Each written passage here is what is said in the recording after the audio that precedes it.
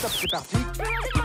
Nous allons parler de l'information. Les journalistes ne m'intéressent pas. You are fake news. Il est 9h40 sur France Inter. Soyez les bienvenus dans l'instant M. Donc coupé? Non, Vous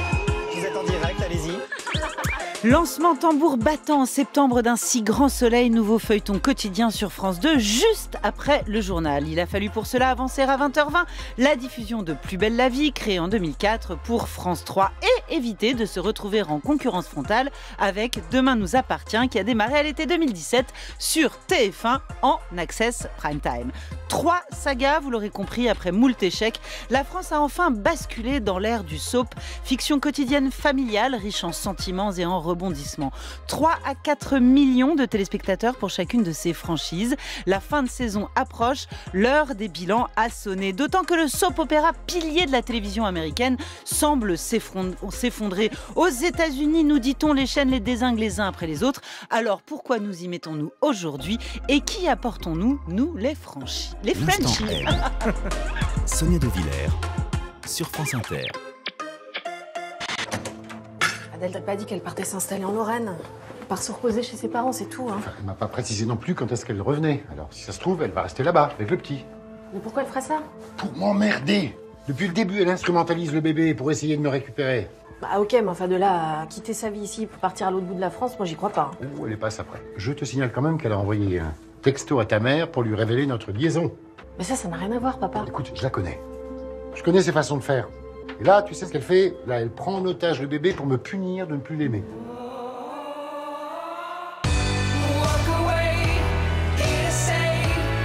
Bon, je vous préviens, j'ai invité le parrain de la profession. Bonjour Olivier Solsinger. Bonjour. Non, vous n'êtes pas un peu le parrain de la profession? On va Allez, allez, allez. Vous êtes auteur-producteur d'un si grand soleil. De 2010 à 2016, vous étiez l'auteur de Plus belle la vie. Vous tiriez les manettes et les ficelles. Bah oui, oui, vous étiez. Si, si, si, si, vous étiez Dieu, Dieu tout-puissant. Plus belle la vie, qui est en quelque sorte la matrice, le centre de formation, on va dire, du soap à la française. Euh, on vous a d'ailleurs proposé, je crois, de lancer le feuilleton de la une. Non Bah, ça On vous avez contacté Oui, mais Oui, voilà. c'est normal. Enfin, Oui, ça oui, fait tout des, à fait. des- En fait, on est une petite bande. hein. Il n'y a pas un parrain. Il y a une petite bande de gens qui travaillent depuis des gang. années à l'écriture des feuilletons quotidiens. Voilà, euh, si vous voulez, qui, qui adorent ça. Et donc, euh, on se retrouve euh, sur les, les trois feuilletons quotidiens. Et c'est voilà, c'est ça. D'ailleurs, vous vous échangez les dirigeants de chaîne, les producteurs, etc. Vincent Mellet, hein, à l'époque, qui avait mis en place Plus Bien belle la vie sur la 3, il est aujourd'hui le producteur de Évidemment. votre concurrent sur la une. Bref, c'est la grande famille des soaps et ses histoires dignes d'un soap. Alors, direction d'abord les États-Unis, ça va nous permettre de faire une petite mise au point.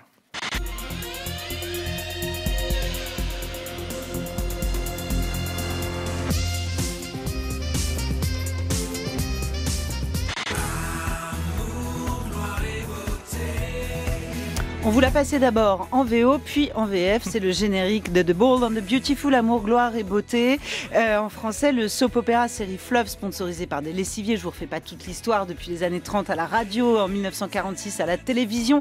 Euh, aux États-Unis, il n'y en avait encore une bonne vingtaine en 1980. Il n'en reste plus que quatre. Deux sont diffusés en France. Les Feux de l'amour sur TF1, Amour, Gloire et Beauté sur France 2. Ça a été un choc quand même de voir ABC, la grande chaîne des soaps, filiale de Disney, désinguer All My Children et euh, One Life to Life après 40 ans d'existence, remplacé par des talk-shows.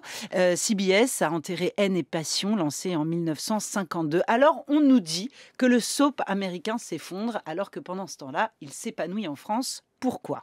Alors, il, il ne s'épanouit pas qu'en France, il s'ép- il s'épanouit dans toute l'Europe, en Ouais, fait. ouais. Euh, mais y a- il y a- le soap, c'est une immense, immense famille avec Ouais. des, des grosses différences.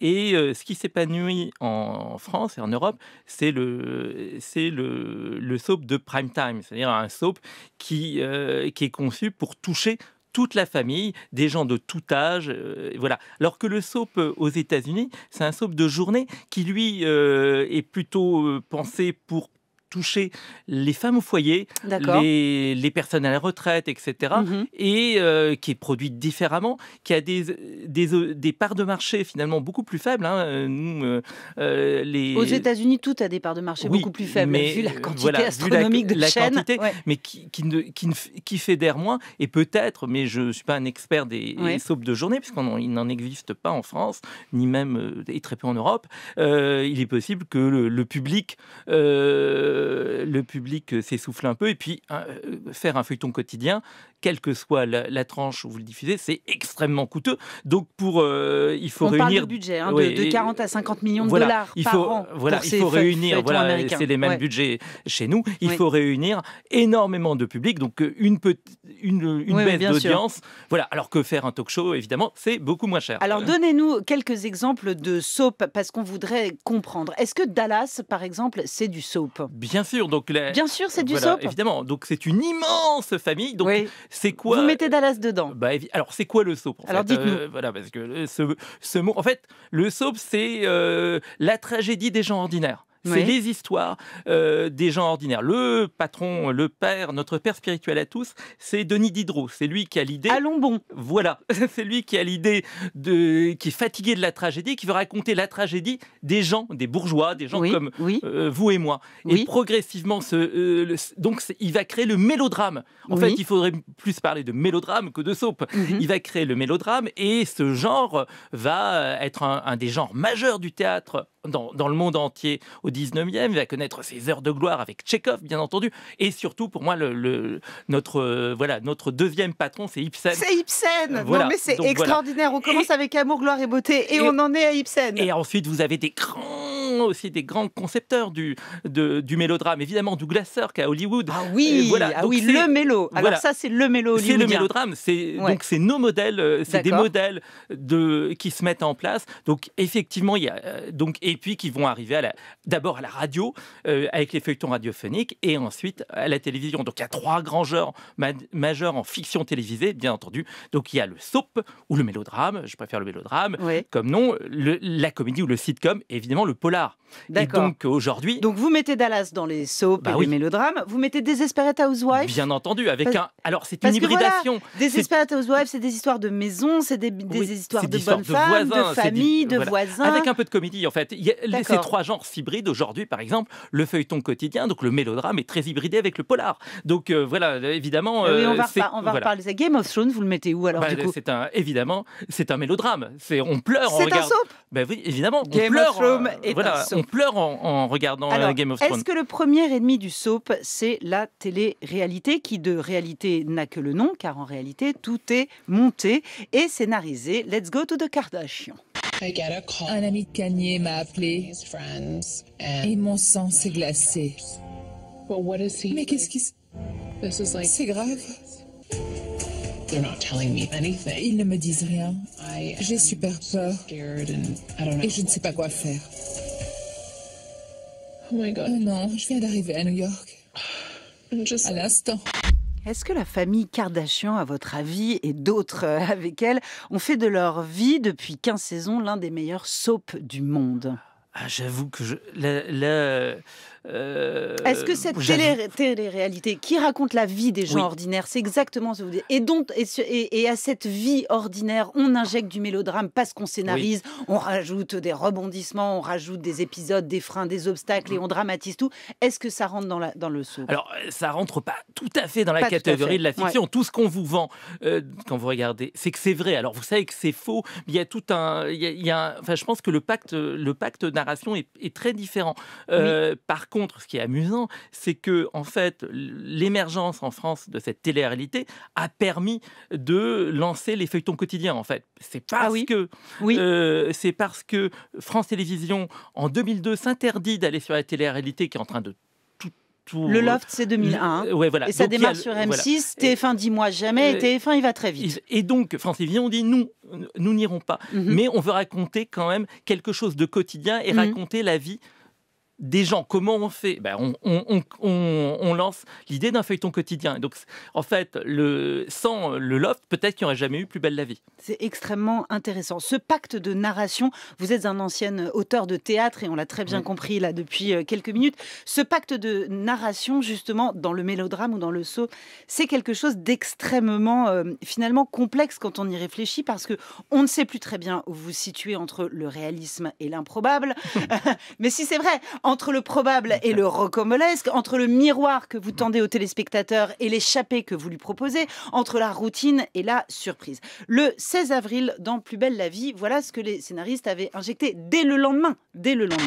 Au plafond, un trou béant, l'endroit même où la flèche s'est écroulée. Je suis choquée là. Non mais euh, vous vous rendez compte que c'est 900 ans d'histoire qui partent en fumée là Mais c'est fou quoi. Et contre la violence de l'incendie qui a ravagé la cathédrale. Voilà, le lendemain, dans Plus belle la vie, l'incendie de Notre-Dame pénétrait le feuilleton. Vous l'avez fait pendant des années, vous l'avez fait avec beaucoup d'événements, vous connaissez par cœur cette logistique, vous allez nous l'expliquer. Je vous fais écouter un autre euh, extrait. Cette fois, on est chez vous, dans votre nouvelle maison, dans un si grand soleil, euh, où, comme d'habitude, dans le mélodrame euh, ou dans le soap, il y a de l'enquête policière qui vient grignoter le sentimental et la famille. C'est pas de notre faute, elle est morte la vieille. Ouais, c'est pas de notre faute. C'est un accident. Un accident? Non, c'est pas un accident. Non? Vous auriez pu appeler les secours. Vous auriez pu laisser la, famille intervenir, non? Vas-y, on savait pas qu'elle était malade, nous. Ouais. Vous savez pas que c'était une vieille dame? Tu l'as pas vu, ça? Vous l'avez laissée mourir. Ouais? Je suis pas, nous. Non, vous tuez pas, mais vous allez être inculpé pour meurtre. Parce que vous l'avez laissée volontairement mourir. Puis vous êtes allé chez des juifs parce qu'ils avaient de l'argent, c'est ça? Ils ont de l'argent, les juifs. Hein? Donc indirectement, elle est morte parce qu'elle était juive, cette dame. Voilà, euh, voilà à quel point le registre devient complexe, parce que nous avons la réalité pure qui s'introduit dans la fiction. Ensuite, nous avons des éléments de fiction assez classiques qui sont du registre du polar, le meurtre, l'enquête, etc., euh, etc. Et puis, nous avons l'antisémitisme très actuel, dont sans que factuellement ce soit l'actualité, c'est quand même quelque chose de notre monde actuel qui rentre dans la fiction. Alors, en fait, euh, la spécificité du soap de Prime, euh, et on retrouve ça très fortement en Angleterre, c'est de raconter l'époque. En Mmh. fait, pour réunir toute la famille, il faut leur tendre un miroir et leur raconter le monde où ils vivent. C'est vraiment le pacte euh, de narration du soap de Prime. Euh, parce que historiquement, en tout cas en France, il est diffusé à peu près au même moment que les, que les, que les journaux télévisés. Et le but, c'est aussi de donner un autre éclairage sur l'actualité. Donc sur euh, Plus belle la vie, on a eu le, le- donc au départ, on ne commentait pas l'actualité. Et il s'est passé un, un événement euh, tragique qui était le, qui a été évidemment le les assassinats euh, à à Charlie Hebdo Mhm. et l'hypercachère. Enfin, été et, et tous les auteurs, le producteur, euh, la chaîne ont été bouleversés Mhm. et on a eu envie de- D'ouvrir les portes du de- scénario. Voilà, de, de raconter notre émotion, ouais. notre émotion. Et donc on a on a fait une première euh, une première séquence euh, qu'on a tournée euh, un peu à l'arrache au dernier moment, alors que d'ailleurs le le- le- l'attentat de l'hypercachère était en cours. Enfin, c'était Ouais. c'était un moment assez, assez, assez étrange, assez bouleversant.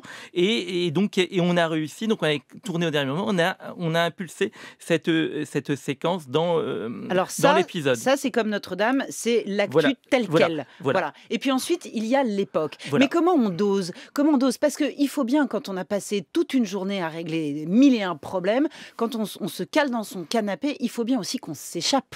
Donc comment on dose entre les deux? Ah bah, euh, je ne sais pas, c'est très intuitif. Les auteurs, enfin c'est collectif aussi, les auteurs, euh, la chaîne, les producteurs, ils ont à la fois envie, bah, effectivement, d'histoires qui vous font rêver, mais on a aussi besoin, on est des citoyens tous, Mhm, mhm. et on a aussi besoin bah, de, de, de raconter euh, notre temps, de, de parler de nos indignations, Mhm. de ce qui nous bouleverse. On a envie de... Voilà, on a envie- Combien vous glissez d'histoires par épisode, Olivier Schulzinger alors, euh, dans, euh, dans Plus belle la vie, il y en a trois par épisode. Oui. Donc, Et dans Un si grand dans soleil maintenant, il n'y en a plus que deux. Oui. Voilà. Pourquoi? Parce Alors- que justement, vous avez besoin de les étoffer. Voilà. En fait, d'abord, les- ce qui est très intéressant, c'est que ces trois feuilletons quotidiens qui, qui sont quand même conçus à la base, au départ, un peu sur la même matrice, se, se différencient petit à petit. Ces trois Absolument, qui s'éloignent l'un de l'autre. Et comment vous, comment vous définiriez les, les chemins qu'ils empruntent chacun? Bah, euh, Plus belle la vie, c'est vraiment Enfin, la place, ce qui est génial dans Plus belle la vie, c'est cette agora, Oui. c'est cette place, euh, cette place du village où les gens se retrouvent et racontent en fait ce qui leur arrive. Ça, c'est Mm. ça, c'est la spécificité de, de, de Plus belle.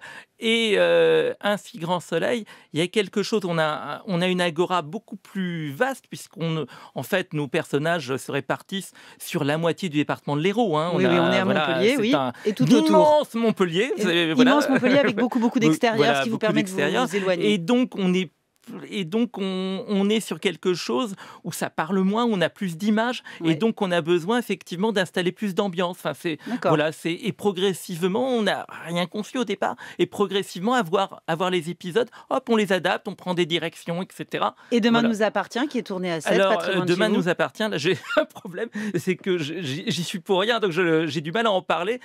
Euh, Vous je- ne vous regardez pas les uns les autres chaque jour? Pas du tout, non, Pas j'ai pas du le tout temps. Non, non, je Ouais. voilà. Donc Alors voilà. on a dit deux histoires par épisode dans Un si grand soleil, trois dans Plus belle la vie. Combien d'auteurs pour une semaine d'épisodes? À peu près une quinzaine. Une quinzaine pour une semaine Oui, de, de- oui, de oui, feuilletons. Et pourquoi y a-t-il des équipes d'auteurs différents euh, pour l'écriture des histoires et pour l'écriture des dialogues? Alors en fait, l'organisation de l'écriture, vous la retrouvez dans beaucoup de feuilletons quotidiens en France, mais aussi à l'étranger. Oui. En fait, parce qu'il y a une immense contrainte, c'est d'écrire 260 épisodes Mhm, par, an. par an. Donc 100 heures de fiction, c'est énorme. Et on veut quand même que nos épisodes soient chouettes. Mhm. donc en fait, il y a- il y, a comme on, on essaye de. Donc c'est comme une, une, une, une chaîne de montage. Pendant une semaine, il y a 8-9 auteurs qui travaillent sur les histoires. Voilà. Mhm. Et ensuite, quand il leur faut au moins une semaine, et quand ils ont terminé, hop, ils passent le, le, le, le bébé à, des, à une autre équipe qui va mettre une semaine pour les dialoguer, ces histoires. Évidemment, euh, s'ils les dialoguaient eux-mêmes, ben, ils pourraient plus écrire que 26 semaines par an au lieu de 52, et on serait bien ennuyé. C'est ça, c'est ça. Mais le soap aussi, c'est toute l'histoire de l'industrialisation et de la télévision et de la production de la Oui. fiction. Donc en ça, c'est aussi un genre, un genre majeur d'un point de vue économique et d'un point de vue euh, sûr. et d'un point de vue euh, industriel. Est-ce que c'est un genre narratif en droit interminable, le soap? Euh, bah, Puisqu'on est obsédé cette semaine par, la, par une seule grande question, c'est est-ce que Game of Thrones a bien fini ou a mal fini? En tout cas, Game of Thrones est terminé. Oui. Est-ce que vous, vous écrivez des fictions en droit interminable? Eh ben, euh, nous, ce qu'on essaye de créer, c'est des, euh, des- c'est vraiment des univers, des univers qui n'ont pas de fin. Effectivement, le Qui n'ont but, pas de fin. le but d'un euh, feuilleton quotidien, d'une série quotidienne, c'est de donc c'est de ne pas se terminer. C'est que le, le- notre univers fictionnel, euh, moi j'appelle ça les univers fictionnels permanents. Euh, voilà, il y a des Non, mais vous vous prenez vraiment pour Dieu, tous. C'est Bah, ça qui est. Oui, c'est ça. C'est ça qui est absolument incroyable. Et au fond, vous êtes les seuls auteurs au monde à écrire des univers permanents. Oui. Ça n'existe pas y a- ailleurs. Il y a un feuilleton quotidien à la radio anglaise qui existe depuis 1920. Ouais. Donc, l'Angleterre voilà. est un grand pays de Ah soap. bah, c'est le, oui, le pays majeur du feuilleton quotidien. Oui. Pourquoi? Et, et- et c'est- et- et cette industrie du soap a donné la qualité, a engendré la qualité qu'on sait de la série britannique à, oui, votre, à évidemment, yeux? parce que euh, donc euh, les feuilletons. Je, euh, je pense qu'il y a sans doute une influence des États-Unis Oui. à la base, l'envie de faire des, des, des feuilletons quotidiens euh, parce Mm. qu'ils ils arrivent des États-Unis. Sauf que très certainement le marché anglais est très étroit, donc on peut pas les mettre la journée parce qu'on n'arrive pas à financer. Donc on va les créer le soir pour réunir 10 millions de personnes pour que Mm. économiquement Mm. ce soit soutenable. Et donc euh, vous avez des feuilletons quotidiens donc qui vont parler euh, euh, parler de, de l'actualité, qui vont raconter l'époque. On dit qu'un des feuilletons quotidiens a participé à la chute de Thatcher. Ouais. Voilà. Et, euh, et, donc, euh, et donc, effectivement, ces auteurs se forment au feuilleton quotidien, travaillent en atelier, apprennent plein de techniques et progressivement vont travailler sur des séries de, de prime time, etc. C'est- à la fois, c'est génial de travailler à plusieurs. On, on échange nos expériences, on progresse tous ensemble et progresse. Et au bout de 2, 3, 4 ans, les gens ont envie de faire autre chose. Même moi, il m'arrive d'avoir envie de faire autre chose et ils se projettent Finalement, ailleurs. c'est l'Olympe. C'est Voilà. ça, c'est l'Olympe. C'est tout un tas de grands dieux et de petits dieux qui sont tous ensemble en train de créer des univers permanents. Je vous remercie beaucoup, Olivier Sulsinger. Je précise que Un si grand soleil ne s'arrêtera pas parce que comme c'est un univers permanent, Bah non. et ben ça sera là tout l'été et que c'est à 20h40 tous les soirs sur France 2. Merci beaucoup Merci, pour votre visite. J'ai encore mille questions à vous poser. Vous allez revenir à la rentrée. c'est la fin de l'émission.